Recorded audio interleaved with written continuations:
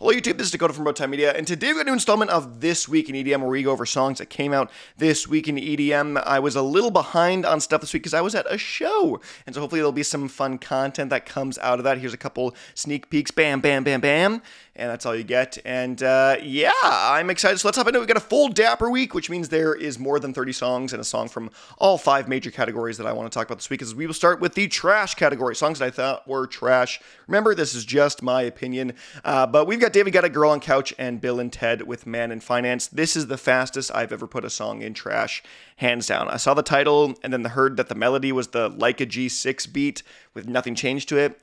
This is horrendous. The song is a joke and not in a good way in any way at all. Um, David Guetta and crew are just stealing melodies and it's horrendous. Then we got Timmy Trumpet, Vini Vici, and Tiscore with Hey Ya. I'm actually thankful this wasn't an OutKast cover track, uh, but maybe it would have been better as one. Uh, the song is short, bland, and mindless music that anyone with um, any slight musical intuition uh, shouldn't vibe with. They're moving into the bad category, songs that I thought were uh, not great. Again, just remember personal opinion, personal opinion, don't take it as gospel truth.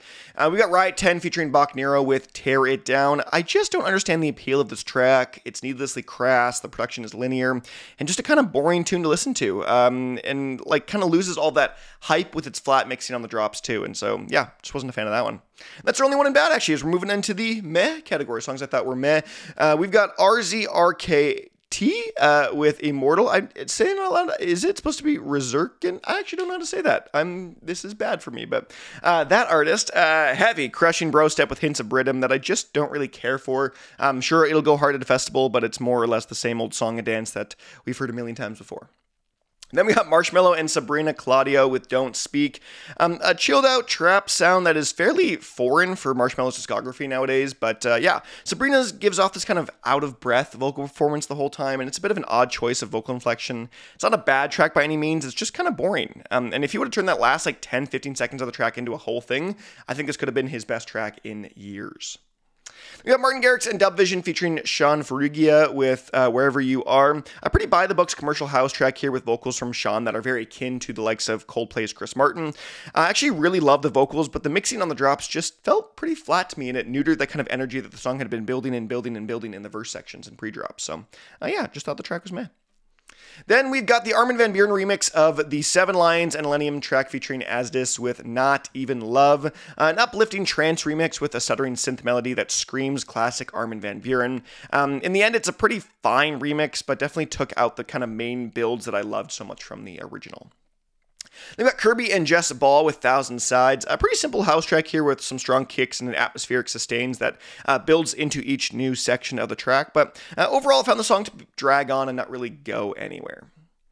Then we got Mr. Fiji with video games a little too much. Uh, yeah, chilled back and simplistic garage track with some Four Tet like sound design using these kind of glassy samples for the chops. And um, yeah, it's a very Fiji track, but doesn't really do a whole ton to make this stand out in the rest of his discography holistically. Then we got Nufori and Thirst with Glock. Uh, funk with a destructive bass line that's really meant to separate itself from the other funk tracks out there. It's got big energy, but just not a whole lot to say, personally. Uh, then we got Swedish House Mafia featuring Niki and the Dove with Lioness. Uh, pretty boring for Swedish House Mafia standards. I felt like they were trying to recapture the magic of Ray of Solar, um, but kind of removed all the charm that made that track special, uh, making this a pretty simple house tune. So again, not bad, just not crazy. Then we got Caval with Color Beguer, Barrage. That's not Barrage, Color Beguer, uh, from the new Cosmic Crash EP. Uh, yeah, this is color based with the wet sound design that is very akin uh, to the Sharks style, uh, which is maybe intentional because Sharks is kind of taking a step back from production now. So maybe Caval's trying to enter in that niche. But that being said, the production I think on this track isn't as inspired as some of his other stuff, and so I didn't mind it. I just think there's other better Caval tracks out there. Then we got Automate and Daya with Monument, a melodic rhythm that is bright and cheerful and happy, and it's honestly a little wild sonically. Uh, I wanted to really enjoy this one, but the harsh synths really clash with the bright production. Just a bit too much for me to really, really enjoy this one. We're moving into the good category songs I thought were uh, pretty great. Uh, we got Cinemata and Nitrix with Lightning in the Dark from the new Metamorphosis debut LP from Cinemata. And uh, yeah, this is a punchy melodic dubstep track that does sound very similar to a lot of other mellow dub out there, but just got that kind of extra kick to it that uh, kind of adds some energy that I much enjoyed and appreciated. Then we got Arm & Hammer featuring Zila with Moments. Uh, yeah, wow, Arm & Hammer with a blissful Eurodance track. Uh, it's definitely a switch up from them stylistically, and I think it worked out over well, uh, overall well. I've struggled with the kind of same sameness of their tracks as of late and was wishing for some new kind of different direction of theirs, and this was that. I'll say it's a little bit of a plain track, but hey, I didn't mind it. I kind of enjoyed it. Then we got Nitro Fun with World Wide Web, a fun throwback to Nitro's kind of core 8-bit Complextro sound, but the track is just a little underwhelming. Uh, maybe I just wanted it to be kind of a one-to-one rendition of his 2014 sound, and it's just not that. So, um, still a fun little track, but not his grand return to form that uh, maybe I wanted it to be too much. Then we got Just a Gent with three funky left field track that screams Just a Gent with his kind of classic future based trap sound design. It's a neat tune, uh, but not one of Just a Gent's best, but again, still a solid track. Then we got Blue Claire featuring Tiana Forrester, Forrester with Hold On from the new Inner Circle EP from Blue Claire. Oh yeah, glassy deep house for lounging around, reminiscent of early Disclosure days, just with a bit of a slower tempo. So if you like that kind of lounge house style, you might like this one quite a bit. Then we got Misere and Dead Pony with Generation Gap, very much an early 2000s rock anthem, just with a constant, um, yeah, drum work, electric guitar riffs, and angsty lead vocals. Um, it does have a bit more of a focus on that drum and bass due to this being obviously a Misere production, um, but it just sounds a lot like kind of if Paramore did an EDM kind of cover, or if there was an EDM cover of like a Paramore track, and um, I think it works great. Then we've got Petit Biscuit with Shorter Than a Night. Uh, most of the track here is this kind of loungy electro pop, but it morphs into this kind of wicked, distorted electric guitar finale that just slaps. And it's a one track that I think is a sneakily good track. They've got AU5 and True Feels with Edge of Your Heart, a simple commercial melodub track by AU5 standards. Um, wasn't as strong as his stuff on this last record, but I primarily found the vocals here to just not really fit in with the production style that AU5 is going for. And so again, the track that I really enjoyed, but I was just being just being a little little more critical of stuff that I think is uh, good. We got Casbo featuring Pearl with Carry Your Name from the new The Learning of Urgency LP. Um, this, alongside much of the album, is just a clean, well produced, atmospheric progressive house track with um, fantastic vocals. There aren't any many, many big builds or mighty crashes. It kind of keeps things calm, cool, and collected, and it's beautiful.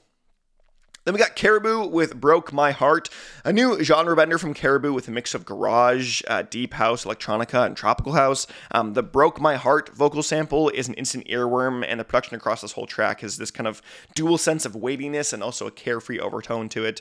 Um, I can imagine the song being played at beach resorts all over the world. Then we got Olivers with Take Me Higher, Olivers' Ophelia debut, and uh, with a track that I was uh, kind of digging. It's got this driving beat and fun vocals with two main drops that really do hold their own both stylistically and sonically. A bit of a fresher sound from Olivers, and um, yeah, I'm, I'm here for it. They've got Dactyl featuring Alice Ivy with Wave, uh, a wonky garage cut where Dactyl manages to uh, make a kind of monotone vocal sample and turn it into a, a brilliant kind of vocal chop. Um, it's part nostalgic, part modern, and all around a, a good time. Then we got Godlands and Lizdek with Element. Uh, it's a short track at only two minutes long, but it's got some brilliant trap sound design happening here. Um, honestly, an entire project worth of this kind of short and punchy tracks would would just go hard. So um, this one shocked me how much I ended up enjoying it.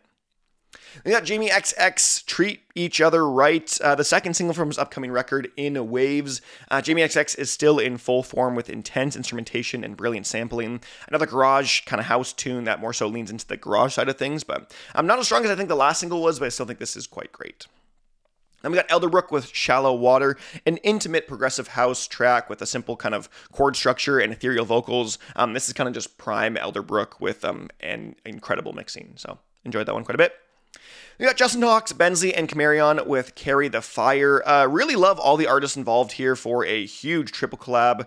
And um, yeah, I I think I was thinking this was going to be way above and like beyond the norm. Um, but I think individually, this is kind of just a, a, great track for each of these three artists. I'm being very critical of this stuff, but um, yeah, I, I, think the track is the kind of long building movements that have extended drops that is really solid D&B. Um, and so I just think I had unjust expectations where I imagine this to be like the DNB song of the year. Um, it's it's not, in my opinion. I do think it's a great track though, so go listen to that um, if you enjoy some DNB. Then we got Charli XCX with Talk Talk from the new Brat LP, uh, the EDM record of the year, according to some people. Uh, but yeah, this is a fun record with easily danceable grooves, great vocal performances, and incredible mixing. Uh, this track in particular is wrapped in the synth sustain that just kind of gives the whole time, uh, giving this track like a kind of bright and cheery atmosphere. I only have that constant kick, kind of bring the energy, bam, bam, bam, blast of a track, super fun. Then we got Camofly featuring Shyma with Intuition, another vibey garage house cut from Camofly with airy production and bright vocal chops. A little more reserved on the bass line side of things, but I think that makes the track feel a lot more lighter, uh, which is a style from Camofly I quite enjoy. Then we got Elohim with Didn't Sign Up for This, a really unique and fresh sounding, like kind of garage trap bass fusion of a track. Um, it's got these kind of beautiful strings and then haunting chords that all play off each other for this uh, pretty special sounding track and one that I think is quite unique in the um, musical landscape of things. So.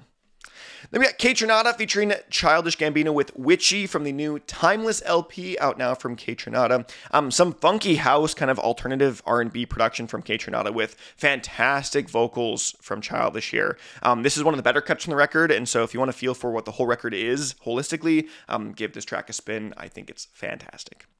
And finally, the number one song of the week is in Standout, a song that I thought was a cut above the rest, and it is indeed Porter Robinson Russian Roulette. Uh, grand, building, intimate. Uh, this track kind of has it all for Porter Robinson's third single from his upcoming Smile uh, record. And yeah, it's energetic, packs a punch, and has these Euro dance like drops that uh, complements uh, the more down to earth verses and bridge sections, um, all in which culminates into this kind of huge finale and uh, quite funny outro. So if you haven't already heard it, yeah, please go listen to Russian Roulette. It's not like Porter Robinson's other stuff for sure, and I really enjoyed it. So, uh, but yeah, other than that, I've been Dakota from Bowtied Media. Let me know what you think of any and all songs in the comment section below, and uh, I will see you guys in another video.